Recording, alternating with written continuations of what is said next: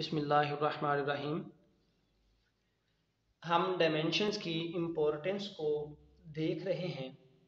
पिछले लेक्चर में हमने जब डायमेंशन की इम्पोर्टेंस की बात की तो हमने एक बात ये की थी कि हम डायमेंशंस की मदद से किसी इक्वेशन की दुरुस्तगी को चेक कर सकते हैं। और दूसरी बात ये की थी कि हम डायमेंशंस की मदद से कि कोई पॉसिबल फार्मूला डिराइव कर सकते हैं। अगर हमें पता हो कि कोई फ़िज़िकल क्वांटिटी किन फैक्टर्स पे डिपेंड करती है तो हम उसका डायमेंशंस की मदद से फार्मूला डिराइव कर सकते हैं। तो इस लेक्चर में हम एक पॉसिबल फार्मूला डिराइव करेंगे किसी फ़िज़िकल क्वांटिटी के लिए और उसके लिए ये एक एग्जांपल है जिसको हम सॉल्व करेंगे। Derive a relation for time period of simple pendulum using dimensional analysis हमने डायमेंशंस की मदद से सिंपल पेंडुलम के टाइम पीरियड के लिए। For the time period of simple pendulum हमने एक फार्मूला डिराइव करना है। और जबकि टाइम पीरियड जिन फैक्टर्स पे डिपेंड कर सकता है, जो पॉसिबिलिटीज़ हैं, वो है, ये सिंपल पेंडुलम की लेंथ पे डिपेंड कर सकता है। हम अगर सिंपल पेंडुलम के लिए सिंपल सी डायग्राम बना लें तो उसके मुताबिक ये है कि सपोज़ हमने ये वर्टिकल लाइन ली ये मेन पोजीशन हो सकती है सिंपल पेंडुलम की। और जब सिंपल पेंडुलम मेन पोजीशन से डिस्प्लेस होकर किसी नई पोजीशन पे आएगा सपोज़ ये उसकी पोजीशन है। हम देखते हैं कि जो फैक्टर्स हैं, जो सिंपल पेंडुलम इस इस सिंपल पेंडुलम में जो फैक्टर्स इन्वॉल्व हो रहे हैं, वो हैं, एक तो लेंथ है इस सिंपल पेंडुलम की। यहाँ से यहाँ तक दूसरा, ये जो हमने बॉब यहाँ पे लगाई है, इसका मैच है। तो लेंथ पे डिपेंड कर सकता है टाइम पीरियड इस मैच पे जो हमने हैंग किया, इस पे डिपेंड कर सकता है। और इस वर्टिकल लाइन के साथ, जब सिंपल पेंडुलम ऑसिलेट कर रहा होगा तो जो थीटा बनता है, उस पर टाइम पीरियड डिपेंड कर सकता है। और इसके ऊपर ग्रेविटेशनल एक्सलरेशन ग्रेविटेशनल पुल होगी, इसका वेट होगा। तो ग्रेविटेशनल एक्सलरेशन पे भी टाइम पीरियड डिपेंड कर सकता है। तो ये हम इस एक एक्सपेरिमेंट में या किसी एक प्रोसेस में हम देखते हैं कि पॉसिबल फैक्टर्स कौन से हैं। तो इस सिंपल पेंडुलम का टाइम पीरियड जिन फैक्टर्स पे डिपेंड कर सकता है, वो हमने नोट कर लिए। तो अब हम इन फैक्टर्स की मदद से सिंपल पेंडुलम के लिए फॉर्मूला डिराइव करते हैं। तो मैं यहाँ पे लिखता हूँ कि लेट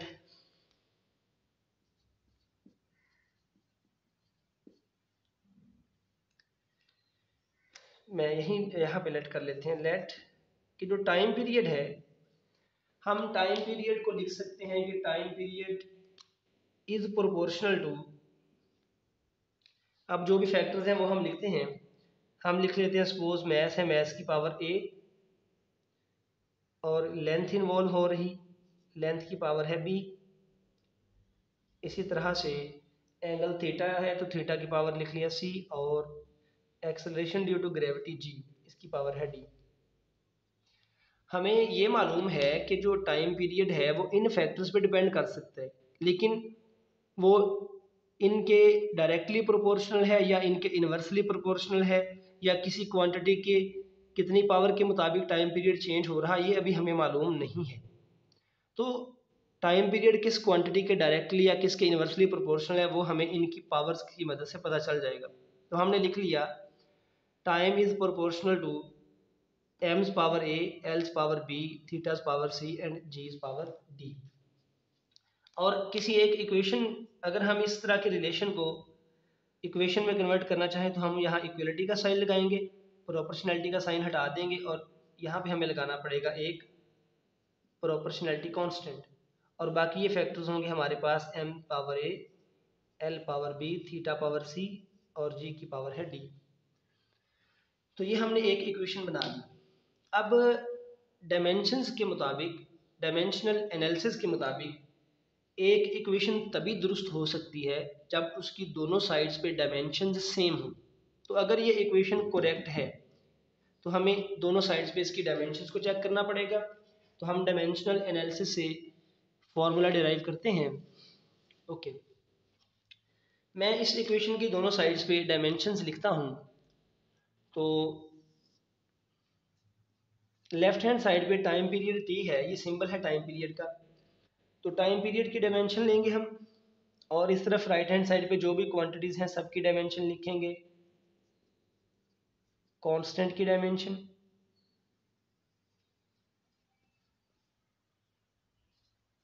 जितनी भी टर्म्स हैं, हम सब की डायमेंशन लिख लेते हैं।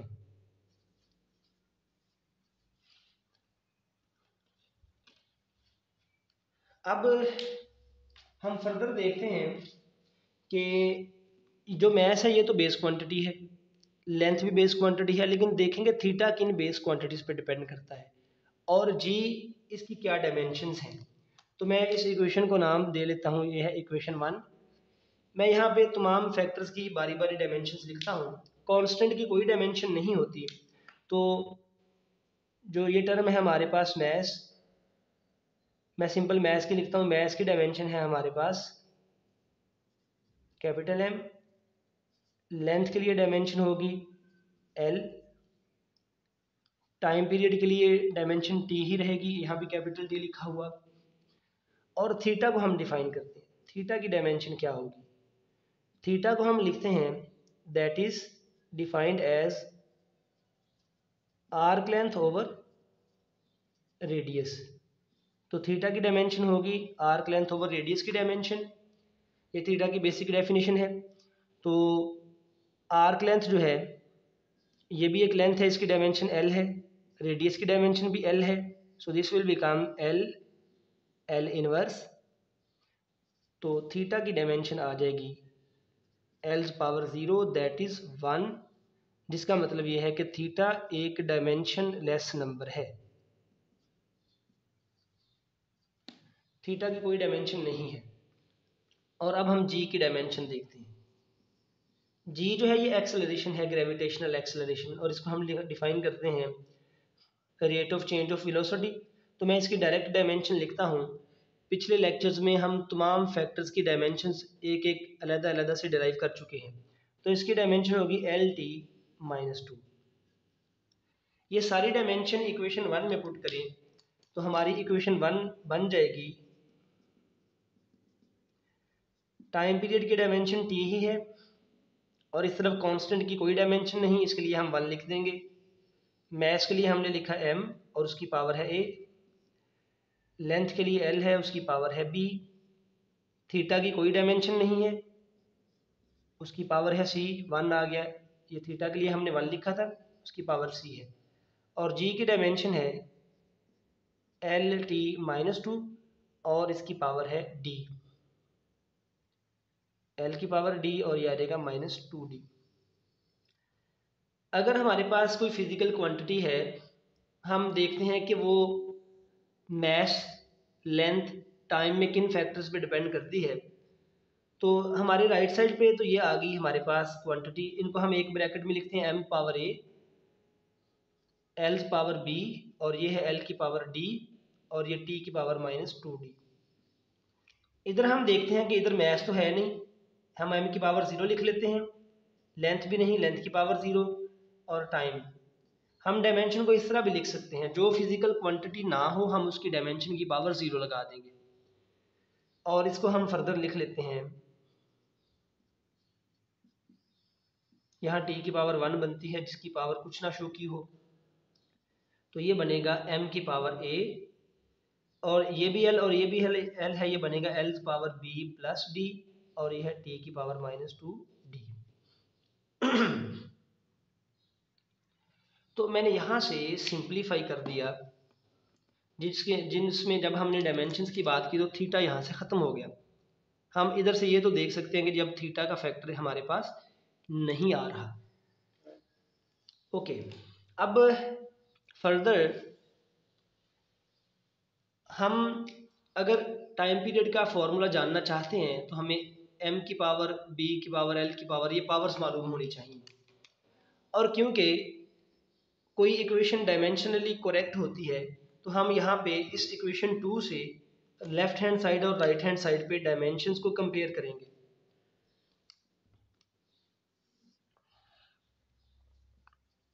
हम दोनों तरफ़ से डायमेंशन को कंपेयर करते हैं। तो कंपेयरिंग हम अगर एम को एम की डायमेंशन को कंपेयर करें तो हमारे पास ये आएगा एम पावर ए और इस तरफ़ है एम की पावर ज़ीरो। तो यहाँ से हम सिमिट्री से देख सकते हैं कि ए हमारे पास आ जाएगा ज़ीरो। लेफ़्ट हैंड साइड और राइट हैंड साइड इक्वल है। ये बेस सेम है तो पावर्स भी सेम होंगी। तो हमने कांस्टेंट ए निकाल लिया that is equal to zero अब हम एल को कंपेयर करते हैं। दोनों साइड्स पे एल की पावर बी प्लस डी है। तो एल की पावर बी प्लस डी को अगर हम कंपेयर करें तो ये आ जाएगा इस तरफ़ है एल की पावर ज़ीरो तो ये हमारे पास नंबर आएगा B plus D is equal to zero means यहाँ से आएगा B is equal to minus D एक ये हमारे पास नंबर आ गया। और थर्ड हम टाइम पीरियड को कंपेयर करते हैं। टाइम पीरियड के लिए इस तरफ़ टी की पावर वन है और इस तरफ़ टी की पावर है माइनस टू डी तो जब हम कंपेयर करेंगे, हमारे पास आएगा one is equal to minus two D and that is D is equal to minus one by two हमने इधर से ए की वैल्यू निकाल ली, यहाँ से डी की वैल्यू हमें मालूम हो गई है पावर्स को कंपेयर करने से। तो अब हम इस इस इक्वेशन को इस्तेमाल करते हुए बी की पावर लिख सकते हैं। बी की वैल्यू होगी B is equal to minus D की power minus one by two जो अभी हमने कैलकुलेट की है तो बी आ जाएगा equal to one over two तो जो पॉसिबल कांस्टेंट यहाँ पे आ रहे थे, हमने उनकी वैल्यूज़ जो पावर फैक्टर्स आ रहे थे, हमने उनकी वैल्यूज़ निकाल ली। अब ये जो ए बी और डी वगैरह की वैल्यूज़ हैं, इनको हम इस इक्वेशन में पुट करेंगे। और बल्कि यहाँ पे, क्योंकि थीटा की पावर सी भी आ रही है तो थीटा को हम यहाँ पे इस तरह से ख़त्म करने की बजाय हम थीटा को साथ भी लेके आ सकते हैं। इस तरह से कि हम देख सकते हैं कि इधर एल की पावर ज़ीरो चलें थीटा को हमने यहाँ से ख़त्म कर दिया डायमेंशन की मदद से तो हम इसको शामिल नहीं करते अब।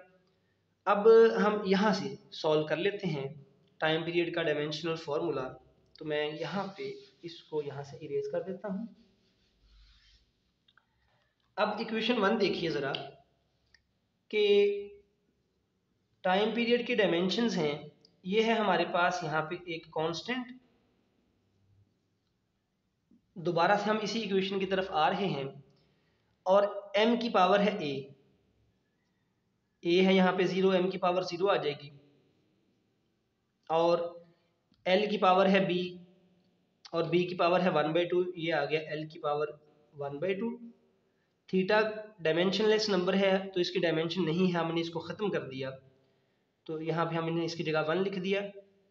हम इस कांस्टेंट को भी ख़त्म करके वन लिख सकते हैं। लेकिन ये कांस्टेंट हमने तब लगाया था जब हमने यहाँ इक्वलिटी का साइन रखा था। इसको ख़त्म करेंगे तो यहाँ हमें प्रोपोर्शनलिटी का साइन लगाना पड़ेगा। ओके तो जी की पावर हमने निकाली है माइनस वन बाई टू उसकी पावर डी है और डी की value minus one by two है। ये हमने रख दिया। तो अब ये टाइम पीरियड हमारे पास आ जाएगा। That is equal to constant M की पावर ज़ीरो है वन है, इसको हम ख़त्म करते हैं। यहाँ पे देखना ये मकसूद था कि कांस्टेंट तो आ रहा चले, लेकिन बेस क्वांटिटीज़ में हम देखते हैं कि मैथ्स पे ये फैक्टर डिपेंड नहीं करता। जैसे थीटा भी डिपेंड नहीं कर रहा था, वो ख़त्म हो गया डायमेंशन लेस था। मैथ्स ख़त्म हो गया डायमेंशन लेस है, और ये रह जाएगा एल की पावर वन बाई टू और जी की power minus one by two और फर्दर हम लिखेंगे दैट इज़ कांस्टेंट इसकी डायमेंशन और इसको हम लिख सकते हैं, एक डायमेंशन में लिखें तो एल वन बाई टू और जी की power one by two minus one by two